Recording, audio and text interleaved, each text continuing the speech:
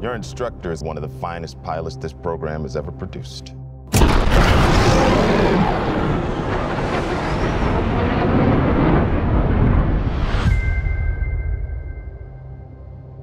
His exploits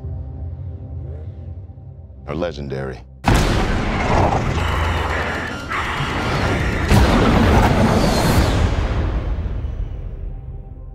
What he has to teach you may very well mean the difference between life and death.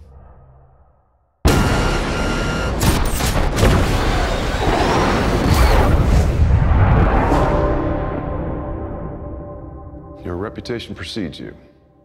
I have to admit, I wasn't expecting an invitation back. They're called orders, Maverick.